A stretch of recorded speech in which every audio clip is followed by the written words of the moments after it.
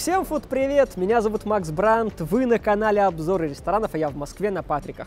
И слева от меня Ава, проект Артема Лосева, Виталия Истомина и Антона Пинского. Я думаю, что тем, кто ходит в рестораны в Москве, эти имена много говорят. Проекту уже несколько месяцев, но здесь постоянный биток. Мы два раза пытались сюда прийти без брони, и не получалось сесть. В этот раз решили забронировать, причем завтраки тоже ухватить. Там есть пара позиций, которые достойны вашего внимания.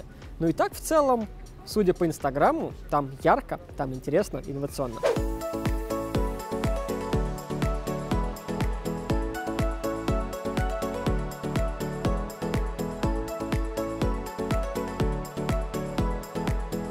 Да, господа, такого максимально неудобного для съемки ресторана не было очень давно. 11 утра, Патрики, биток, то есть мы сидим э, зажатые между гостями, поэтому очень эмоционировать и громко говорить, э, возможно, не представляется. Свет тоже не включится по понятным причинам, а сам свет э, в ресторане довольно тусклый, то есть есть прожектор вниз на блюдо, но получается у меня очень страшная тень. Более того, конкретный стол забронировать было нельзя. Мы бы у окошечка сели, либо в углу, но, к сожалению, сидим между гостями, да, и их немного смущаем, мы сами немного смущаемся. Но, надеюсь, еда сполна покроет все эти фудблогерские неудобства. Порядка 15 блюд для худеющих, ну, кино фреш ролл смузи не сегодня. Сладкое, для настроения, фреш, детокс, вода, лимонады, согревающие чаи, кофе и декаф. Мы специально пришли в 11, чтобы и завтрак захватить, и обычное меню тоже. И, кстати говоря, у нас всего 2 часа, то есть стол с ограничением по времени потому что по-другому здесь, видимо, никак. Ну, будем успевать. У нас час завтраки, час обычное меню. Нужно звать официанта и уже с ним общаться. У вас точно были вот эти вот... Э... Творожный Сергей, который... Да, да, да. Именно... Это, это да, да, именно они. Креветки с пармезаном в каком виде они? А, там, смотрите, там креветки, они обжариваются, подаются с муссом из пармезана, свежими артишоками и миксом зелени. Опа! А вот Royal Detox, хурма, груша, кокос. Мне кажется, это тоже интересно. Произошло буквально чудо. Освободился стол у окна, и нас смогли пересадить, чтобы чуть получше была картинка. Опять же, не идеально, но я и этому рад. У нас первое завтрачное блюдо – скрэмбл с копченым угрем и соусом унаги 750 рублей. Да, за завтрак, за яйцо, за омлет 750 рублей. Но на патриках я уже ничему не удивляюсь. Три жирных куска угря, соус унаги очень тяжелым таким запахом и, соответственно, яйцо. Соус очень густой, тягучий, что по аромату тяжелый, что по вкусу. Интересно будет проверить сочетание. Кажется, что тарелка намного глубже и омлет пышнее. А получается, что здесь, ну, сантиметра полтора яйца. Так, ну ладно, идем дальше. Опрометчиво было бы целый кусок угря сразу есть, потому что их всего три. За ваше здоровье, господа.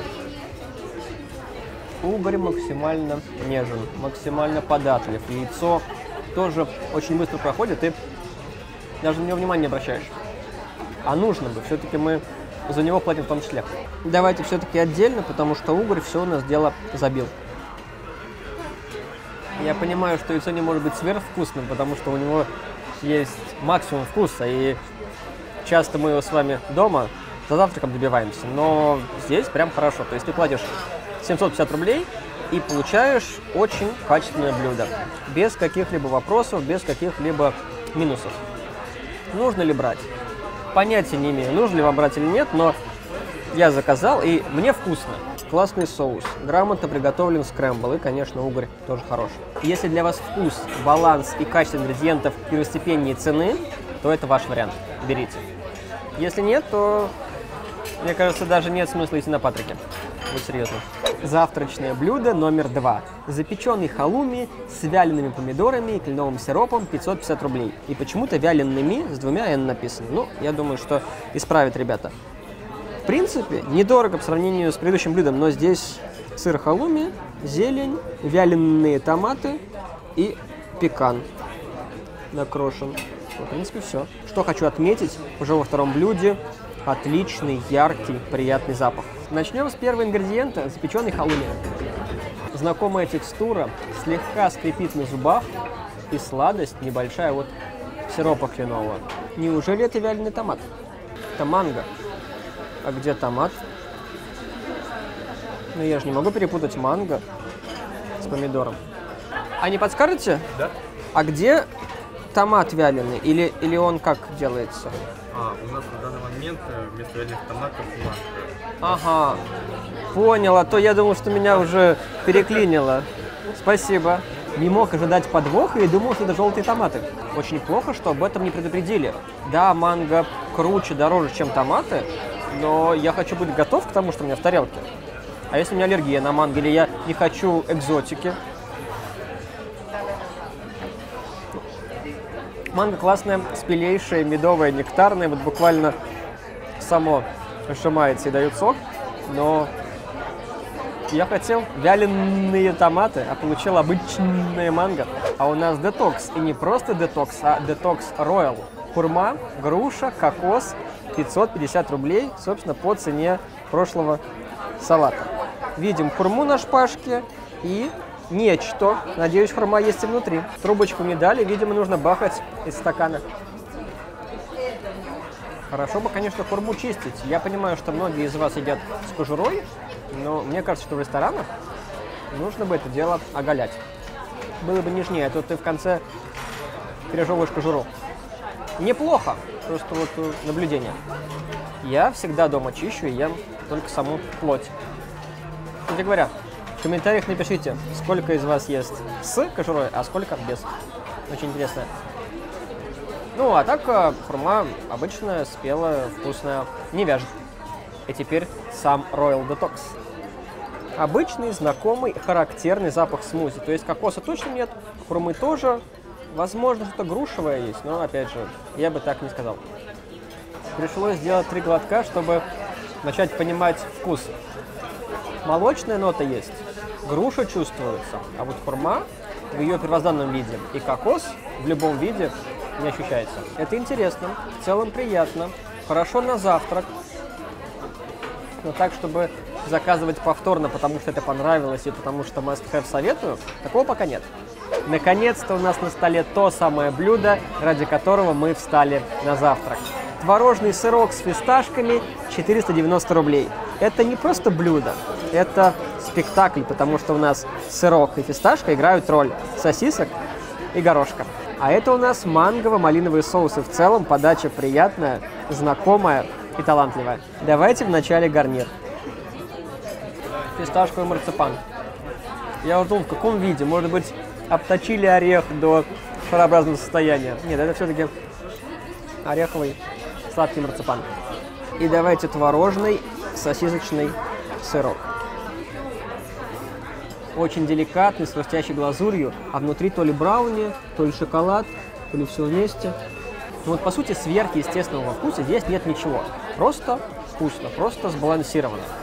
И подобный вкус можно получить, наверное, от некоторых вкусов Бою Александров. Приступим к соусу. Начнем с манго. Легкий манго-соус, который можно встретить в чизкейках манговых, панакотах и малинка. Не сладкая совершенно, как будто перетертая и спумированная. И давайте вот так. Не сказал бы, что стало лучше. Сырок сам по себе хорош. Первый час прошел, завтрак закончился, и мы переходим к основному меню. Оно уже, конечно, потрепанненькое, потому что сколько здесь народу проходит, это уму непостижимо. Завтраки только недавно ввели, а вот это уже несколько месяцев, да, ну, посмотрите, как это нужно уже скоро менять. К шампанскому, ро, закуски и салаты для худеющих, паста ризотто, горячие блюда, десерты, завтраки до 18, но это такое обрезанное меню завтраков, на самом деле нужно приходить до 12 на полноценное. Коктейли, виски, аперитивы, дижестивы, ром, джин, манки 47, 1250. А что вы хотели? У нас там э, скрэмбл был за 750. Есть пара позиций, которые я точно возьму, за которыми я и пришел. Ну а что-то посоветует товарищ официант. Был у вас на завтраке. В целом понравилось. Огромное спасибо. Сейчас пришли пообедать. Точно закажем желе из шампанского со свежей земляникой. Это потому, что у вас визуальный must-have. Самый популярный, самый вкусный. Это пончики с крабом и айоли из лайма. Это получается мясо краба, смешанное с креветкой, нем- немного лосося, все это панировки из крахмала и обжаренного фритюре. А это все внутри? Креветка, краб и лосось. Ну, Это безумно вкусно. Я понимаю, но знаете, чего я боюсь? Что краб падет под гнетом лосося и креветки. Не, Я- ни в коем случае вы как раз таки будете прям чувствовать краба. Да? Да. Я запомнил. Берем пончики с крабом, лососем, креветкой и айоли из лайма. Хлеб уже понадобится. А он как комплимент? Всем или только мне? Всем абсолютно. Тогда понадобится. Комплимент, награда за контент. Это у нас хлебная корзина. Вот такие вот горяченькие, только что выпеченные куски хлеба. Хрустящая корочка, а внутри мягонько. Бездрожжевой, на закваске и вот такое вот масло с добавлением песто, базилика и цветочная соль, что бы это ни значило. И тарелочки, кстати, смотрите какие. Веселенькие, интересные. Комфорт посуда, так сказать. В том плане, что отсылка к понятию комфорт фуд. Сказали, что предлагают всем, поэтому я смело могу брать. Вот так вот раз. Как прекрасен этот хлеб. Посмотри. Как прекрасен. М. Правда здорово. Соль. Немножко рецепторы раздражает масло, душистое зеленью. И, конечно, сам хлеб. Ну, здорово. А тем более, что бесплатно. Раздел к шампанскому. Пончики с крабом и айоли из лайма 750 рублей. Закуска. Пончики с крабом, креветкой, лососем в количестве 8 штук. И вот такой вот манговый айоли соус. Помните, что нам обещал официант? Что будет чувствоваться краб, несмотря на другие морепродукты и рыбу. Я бы назвал это байца для богатых. Это очень сочно и весьма приятно. Креветка не чувствуется. Знаете, что чувствуется? Лосось. Как будто ты ешь пончики с лососем. Краб, только если вы о нем думаете, вам попадается на рецепторы. Но вот дай мне просто эту позицию без объяснений, я бы сказал, ну, классные рыбные пончики с лососем.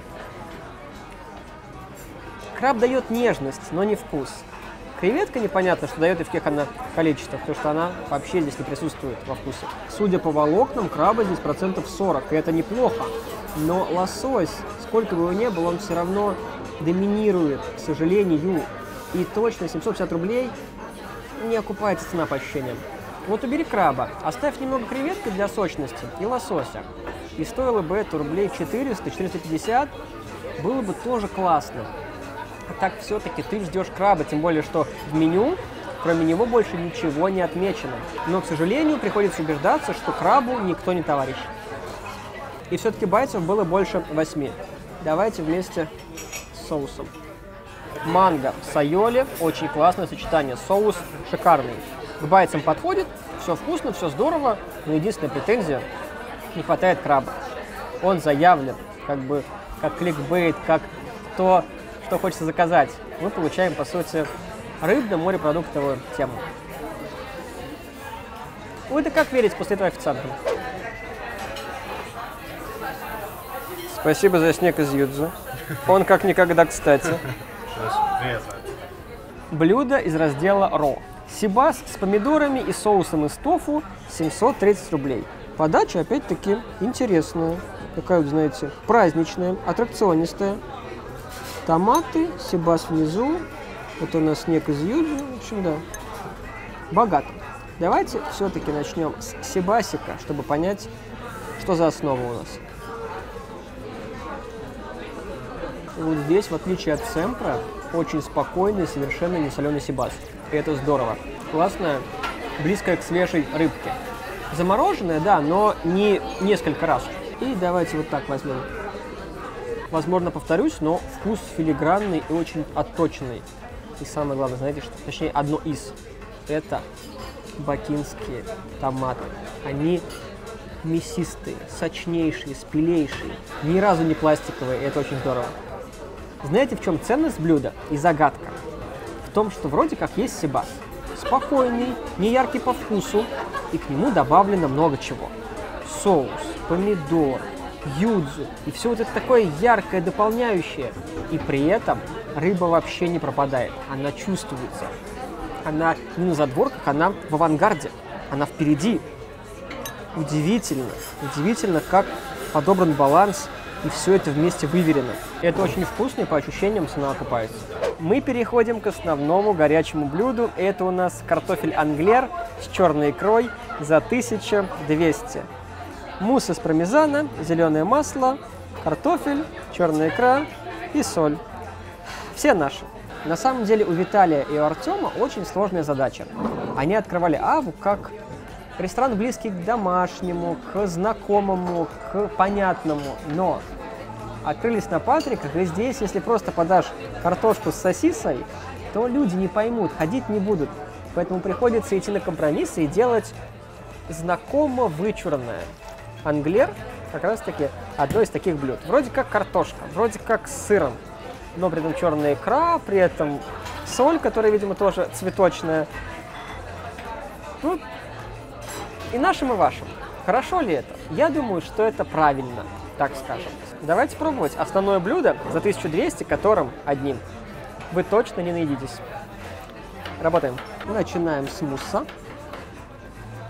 Очень резкий, знакомый вкус пармезана в легкой форме. И давайте картошечки. А вот не так, чтобы и режется, потому что она уже порезана. И я думаю, что стоит вот так вот делать, как праздничный торт. Мы все-таки здесь как на праздник пришли. Поэтому я думаю, что вот так вот мы сделаем и попробуем полноценный кусочек, чтобы была и картошечка, и икра, и соусы, и все на свете. За ваше здоровье, здоровые мои господа. Честно говоря, выпендрешь. По сути, картошка хрустящая, вкусная. Соус сливочный. Сыр чувствуется. И все. 1200. Я понимаю, за что. За черную икру, потому что иначе не было бы смысла и возможности делать такую цену. Мы на патриках, но... Ну, сфоткали вы это. Хорошо. Дальше что? Просто картошку едите? Вкусно, нежно, приятно, сочно, хрустяще. Пожалуйста. Я здесь другого и не ожидал. Но все все понимают. Это вот такой честный развод, честный маркетинг. Смотрите, у нас знакомое блюдо в инновационной подаче. Здесь не просто сыр потер, а эспума с зеленым маслом. Не просто какая-то добавка, а черная икра. Я это уже видел, я это уже пробовал, я это уже знаю, поэтому мне не так, чтобы супер интересно. И придя сюда без камеры, я бы это еще раз не заказал. Вот Сибаса точно бы повторил, а это, ну, чисто аттракцион. Перед десертом всегда освежаем рецепторы. И это у нас домашний лимонад, корица, груша, бергамот, точнее груша, корица, бергамот.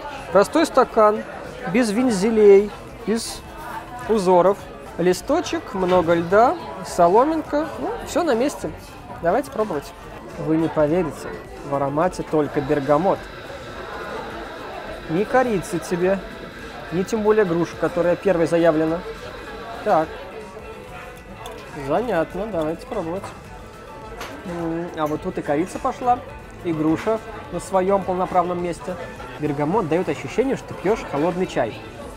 Лимонад сладковатый, не выдающийся, но при этом вкусный. То есть в нем нет ничего вау и того, что заставило бы нас отдельно ради него приходить. Но в целом добротненький. И перед десертом я думаю, что самое то. И я готов к фирменному десерту. Десерт награда за еду. И сегодня у нас то самое блюдо. Желе из шампанского со свежей земляникой 650 рублей. Да, такая подача много у кого была в Инстаграме. И в Инстаграме своего заведения тоже показывается как эталон инновационности. Желе, земляника, клубника, шампанское и крем-пломбир. После картофеля англер понял, что правильно не заказал сметанник с золотом, потому что 750 рублей и половина – это стоимость золота. Ну а это хотя бы красиво и не везде так. Точнее, я такого нигде не видел. Единственное, что мы желе шампанского пробовали в «Хорошей девочке», но там было другое. А здесь прям вот в виде плода, точнее в форме плода. Давайте отдельно крем-пломбир. Ребята, это очень здорово. Вот растаявшее мороженое теплое, причем натуральное вкусное, а не то, которое в воду превращается. Да, и это, это восхитительно. И вот этим бы кремом начинить какой-нибудь пончик, или, может быть, гарумбабу, или, может быть, какую-нибудь трубочку. Сестричка, кисленькая зараза, с нотой шампанского. И давайте все-таки самое главное. Нежнейшее желе из шампанского. Правда желе и правда шампанского. О. Такой завтрак нужно заказывать в выходной день. Сейчас понедельник. Кстати говоря, биток до сих пор. То есть все вот эти вот два часа, что мы здесь сидим, Меньше столов не становится, а люди меняются. Поистине аристократический десерт. Спокойный, ненапряжный, с изюминкой, точнее, с земляниченкой. И вкус шампанского тоже здесь на своем месте и очень приятен и уместен. Попробуем такую композицию. Это легко, это необычно, естественно, вкусно и не на один раз. То есть это хочется повторять. Может быть, не каждый раз, но через посещение я думаю, что захочется и в целом стоит. Классное завершение отличного обеда. Здесь, на удивление, ничего не придумали. Обычный поднос, обычный чек, и мы видим 6020 рублей за 9 позиций, и 10 это комплимент. Слушайте, я думал, что это дорого, пока пробовал, пока брал. Но сейчас понимаю, что здесь наедаются или плотно перекусывают три человека, то есть по 2000 рублей на Патриках, в Аве, на самом деле адекватно. То есть, когда мы смотрим итоговую сумму. Но все-таки пройдемся по блюдам отдельно. Скрэмбл с копченым угрем. Позиция безукоризненная по вкусу, но цена немного смущает. 750 рублей за омлетик с угрем можно, можно, но тут я бы на самом деле подумал еще раз. Хотя, опять же, повторюсь, по вкусу очень здорово. Запеченный халуми с вялеными помидорами. По цене адекватно, вкусно, для завтрака подходит. Творожный сырок с фисташками. Это ярко, это интересно. Но второй раз, по сути, вкусный сырок, но уже который не восхищает видом, за 500 рублей вряд ли вы закажете. Но на первый раз для фото, для видео точно стоит. Пончики с крабом и айоли из лайма. Тут, конечно, позиция слабоватая для такой цены и названия, потому что там только краб. Без креветки, без лосося. А по факту лосось есть очень хорошо, чувствующийся. Креветочка дает сочности местами проблескивает, но, конечно, краба и след простыл. Это бы я не посоветовал. Не то, что невкусно, а потому что название с ценой и с ощущениями не стыкуются. Сибас с помидорами и соусом из тофу – это классная позиция. Да, 730 за закуску, но настолько выверено, настолько прекрасно по вкусу, ярко. И Сибас чувствует себя королем. Его никто здесь не забивает. Это блюдо точно советую и сам сюда за ним вернусь. Картофель англер с черной икрой за 1200. Понимаю, зачем блюдо в меню. Понимаю, кто его берет. Но не понимаю, зачем брать его второй раз или первый раз его брать нам с вами. Просто дорогая картошка, просто с дорогой икрой. Напиток груша, корица, бергамот нормальный, можно брать, чередуя с другими. А вот желе из шампанского с земляникой я бы точно советовал. Либо утром выходной, либо вечером после романтика, потому что это приятно, интересно, вкусно, инновационно и красиво. То есть эта позиция must-have, точно первый раз, но я думаю, что второй, третий можно заказать и не обломаться. Оплачиваем картой и оставляем хорошие чаевые, даже несмотря на то, что официант нас нагрел с крабом в пончиках даем 15%, и я хочу взять на себя транзакционные издержки 53 рубля, чтобы сотрудник получил полную сумму. По итогу АВА это еще одно нестыдное заведение, куда можно смело идти, если у вас есть бронь.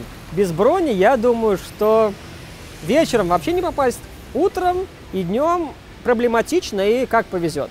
Но в любом случае я советую. Есть позиции более выигрышные, есть позиции менее выигрышные, есть те, которых все понятно сразу, их брать не нужно, есть те, которые достойны вашего внимания и ваших денег. Мне понравилось, я надеюсь, что вам тоже. Вы поставили лайк, хорошо, вкусно, сытно поели под меня. Ссылки в описании. Лучше всех, Макс Брандт. Пока.